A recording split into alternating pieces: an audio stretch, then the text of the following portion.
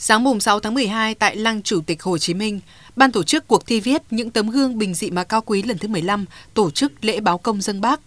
Tham dự lễ báo công có Trung tướng Phạm Trường Sơn, Phó Tổng tham mưu trưởng Quân đội Nhân dân Việt Nam, Thượng tướng Võ Tiến Trung, nguyên Ủy viên Trung ương Đảng, nguyên Giám đốc Học viện Quốc phòng, Thiếu tướng Đoàn Xuân Bộ, Tổng biên tập báo Quân đội Nhân dân, trưởng ban tổ chức cuộc thi, Thiếu tướng Đinh Quốc Hùng, Bí thư Đảng ủy Đoàn 969, Chính ủy Bộ Tư lệnh Bảo vệ Lăng Chủ tịch Hồ Chí Minh, cùng đại biểu một số cơ quan đơn vị đồng hành, cán bộ phóng viên báo Quân đội Nhân dân và các tác giả nhân vật của cuộc thi. Phát biểu báo công dân bác, Thiếu tướng Đoàn Xuân Bộ khẳng định ý nghĩa của cuộc thi viết những tấm gương bình dị mà cao quý là thực hiện lời dạy của bác Hồ để tôn vinh tất cả mọi việc làm, dù là nhỏ, là bình dị.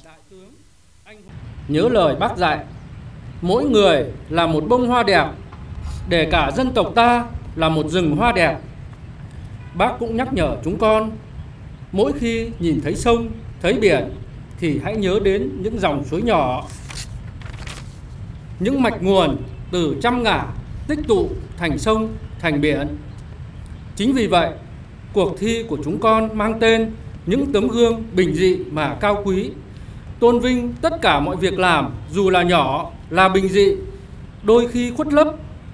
nhưng nó là lẽ sống, hướng đến vun đắp những điều tốt đẹp và lớn lao. Thiếu tướng Đoàn Xuân Bộ nhấn mạnh, từ ý nghĩa của cuộc thi đã thu hút đông đảo tầng lớp nhân dân và cán bộ chiến sĩ tham gia, qua đó lan tỏa hàng nghìn bông hoa người tốt việc tốt trên đất nước ta.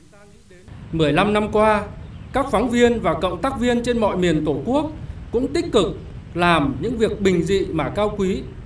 Đó là thông qua cuộc thi đã phát hiện, ghi nhận, tôn vinh hàng nghìn nhân vật,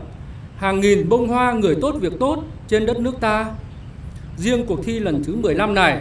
để thiết thực chào mừng kỷ niệm 80 năm Quân đội Nhân dân Việt Nam ra đời, chiến đấu, chiến thắng, trưởng thành cùng cách mạng. Chúng con xác định chủ đề của cuộc thi là dấu ấn bộ đội thời bình. Qua thời gian phát động gần một năm rưỡi, như khơi đúng mạch nguồn trong trẻo và thiện lành,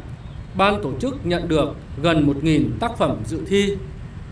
Cuộc thi viết những tấm gương bình dị mà cao quý do báo Quân đội Nhân dân phối hợp với một số cơ quan đơn vị đồng hành tổ chức từ năm 2008 nhân kỷ niệm 60 năm Bác Hồ ra lời kêu gọi thi đua ái quốc.